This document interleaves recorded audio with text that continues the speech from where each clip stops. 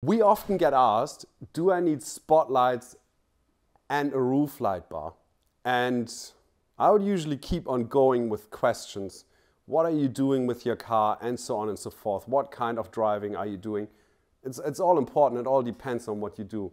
I would say if you only drive on roads, spotties mounted on your bull bar, that's, that's all you need. Because with spotties, and I'm just using the Lazer Lamps lights here as an example because I use them on my own car, uh, these spotties from Lazer Lamps mounted on your bull bar, you will see everything you need to see. And you also reduce the reflection of the road signs with lower mounted lights. And you reduce it even further with 5000 Kelvin lights instead of six or six and a half thousand Kelvin lights. So these lights mounted low will give you easily four, maybe 500 meters of view.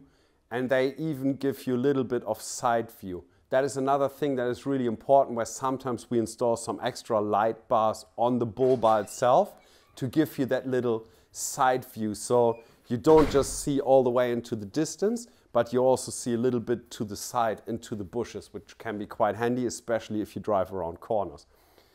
But now the big question is, why would you want a roof light bar? And that to me, and I've just recently experienced that again, while I did drive the Canning stock route we had a section where we had to do some nighttime driving through really high Spinifex grass. I turned my spotties on and I was basically blind because the reflection I got off the Spinifex did not allow me to see further than five meters down the track.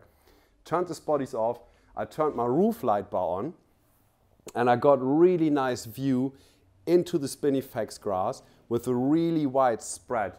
So in my opinion, if you install a roof light bar, get one that has got a really, really wide spread on it and then angle it slightly down. You don't need the distance out of it. This is more for, for slow speed stuff when you use it in combination with spotties because your spotties are the high speed stuff they beam all the way down the road. If you get 100 meters out of your light bar on the roof for the slower sections where you only do 20, 30 k's an hour, that'll be all you need. And you get this nice light penetrating into holes because the light bar usually sits a little bit higher than your line of sight from your eyes, means that the light is actually shining into potholes rather than skimming over it, which it would do with the spotlights mounted on the bull bar.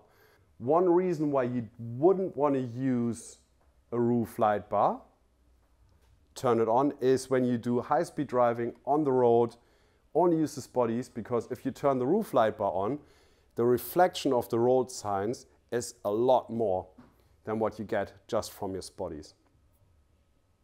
That is about all the different scenarios how I would use the combination of a spotlight and a light bar. If I would, if I would only need to pick one, I would always pick a light bar and I would use a combination light bar. I wouldn't just use a flat light bar. If I could only pick one spot, either spotties or light bar, and price wouldn't matter, I will put that on my roof because that will give you the distance. It will also give you the spread.